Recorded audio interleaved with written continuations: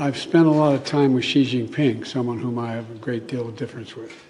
And I was, uh, when I was vice president, President, uh, my, my, my president was told me that he wanted me to get to know Xi Jinping because it was clear he was going to be the head of Russia, of, of China, and he, we, had, we were having problems with Russia at the time and other countries as well. And uh, so what he said was, get to know him he's going to be there. I, and he couldn't because he was the president. He couldn't travel. So I traveled 17,000 miles with him throughout the country, our country, and, and in, uh, in China as well. We were in the Tibetan Plateau, and he turned to me and he said, Can you define America for me? And I give this has been documented, it's real. I looked at him, I said, Yes, I can, in one word. He looked at me and he said, What's that? And I said, Possibilities.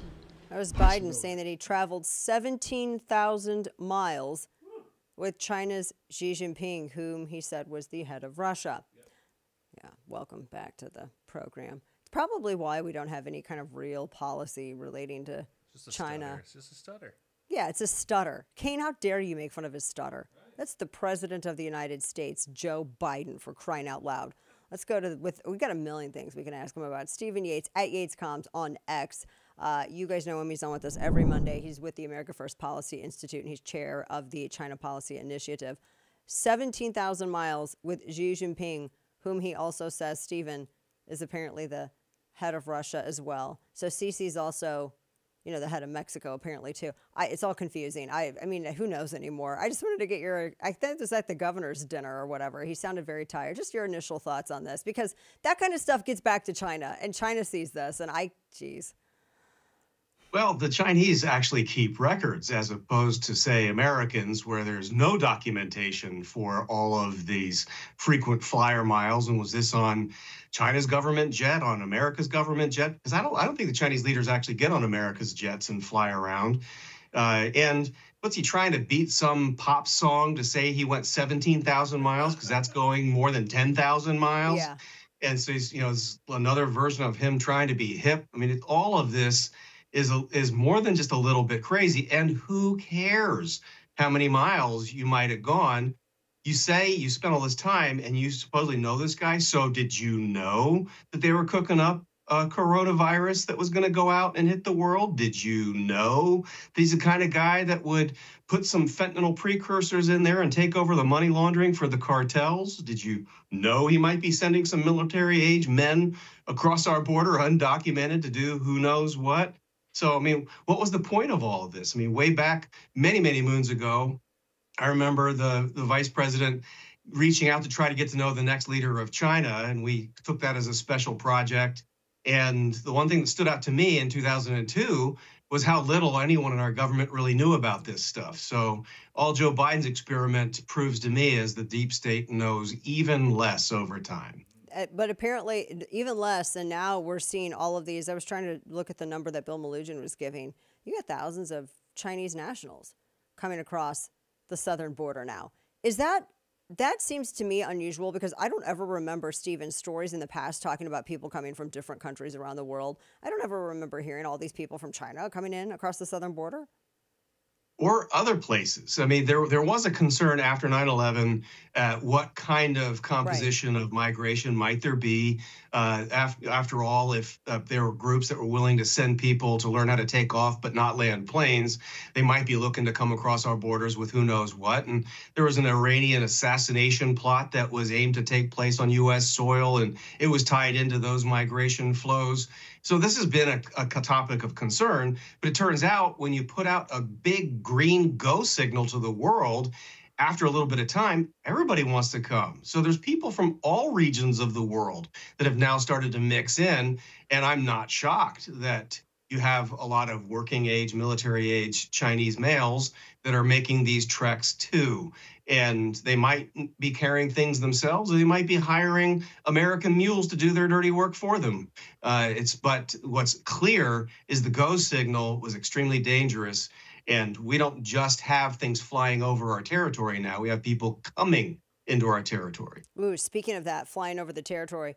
So the pentagon there's a new apparently new brand new high altitude balloon intercepted. They think that this one is likely a hobby craft And this was after they shot down the other one that was literally like a what was it a high school? Kane, it was like a high school experiment, weather experiment. The Pentagon says that uh, the latest high altitude balloon, it was a, a hobby craft. It wasn't uh, wasn't a Chinese spy balloon. Yeah, that's all. Uh, it's just small, you know, just a threatening, uh, non-threatening balloon. Uh, it was intercepted. They said there was a fighter jet over Utah. Uh, they had NORAD confirmed it. Is it that difficult to tell the difference between a spy balloon from a hobby craft? Seriously, I mean, as somebody who has no experience with Chinese spy balloons, I mean, I just think that it might be kind of obvious. Maybe I'm wrong. Well, it's quite the hobby to be high altitude. These days, I don't know what it takes to get high over Utah, but it already starts out at high altitude, and I think it goes up from there. My maths might add up on that. Uh, but it's also several thousand miles from China. Mm. So if how do we know? And who is this hobbyist? Is it Joe Biden's friend Xi Jinping who has a hobby of flying high altitude yeah, things? he's a hobbyist. That's a great point. I, I don't know how we did, but basically, as an American, and I speak for all Americans on this, I want no Chinese hobby balloons over our country. How about we just start there? Yes. I wanted to add this as well. China's hitting out at sanctions, criticizing NATO over Ukraine. So there's all I I think that there's a, a, war over information right now because they had some people saying that Ukraine was going to get some F-16s and they would be able to bomb uh, Russian assets, etc. Although apparently it was like a misquote from some leader who said that maybe they could get some planes, but didn't specifically say F-16s or from where. And China has said they've said that they're not arming Russia. Uh, the companies that have been hit by sanctions, though, from the EU, Britain, and the US, their ambassador told the United Nations that the alliance should, quote, refrain from acting as an agent of trouble, instigating bloc confrontation. The irony of this, Stephen. Well, uh, you would think that China would just say shut up, and, would shut up and just say thank you if American F-16s were going to a theater other than Asia. Uh, yeah. Because that's actually where the F 16s should be going, uh, where China has engaged in a massive air power escalation.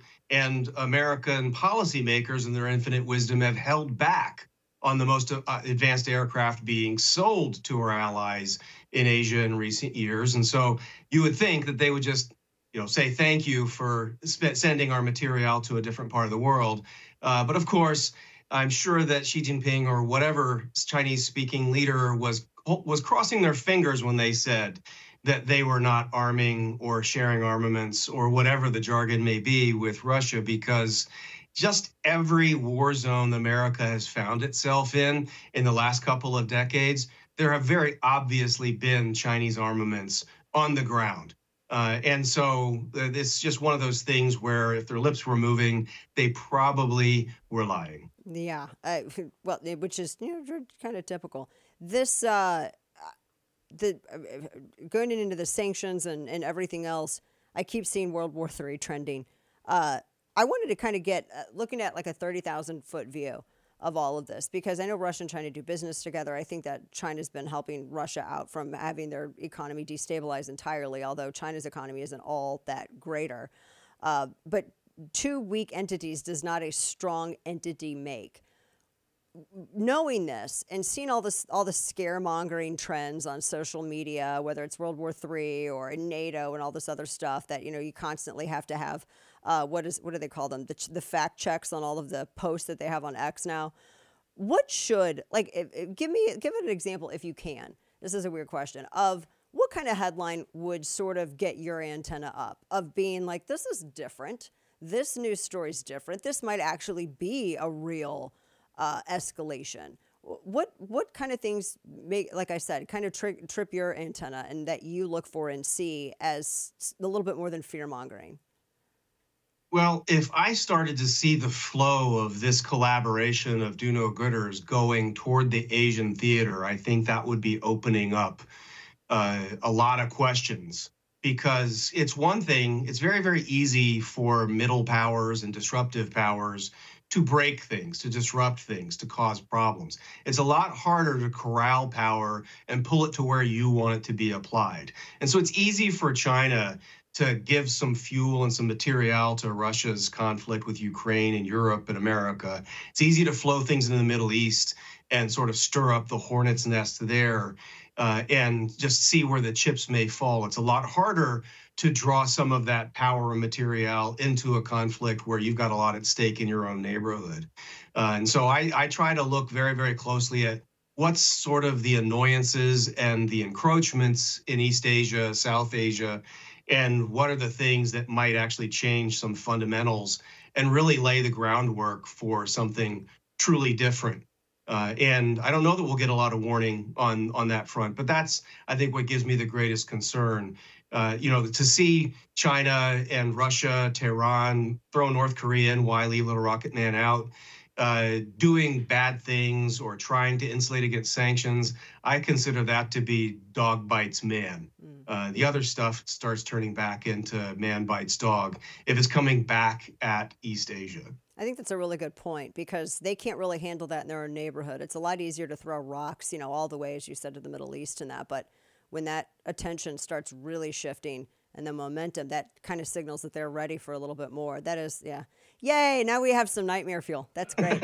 Stephen Yates at Yates Comms, always a pleasure. Have, I hope that we don't have any any interesting headlines for you next time because that means that we're not edging towards further escalation, but who knows. Uh, we always appreciate your insight, though. You're the best. Thank you so much. Thank you, Dana. Take of care. Course, you too.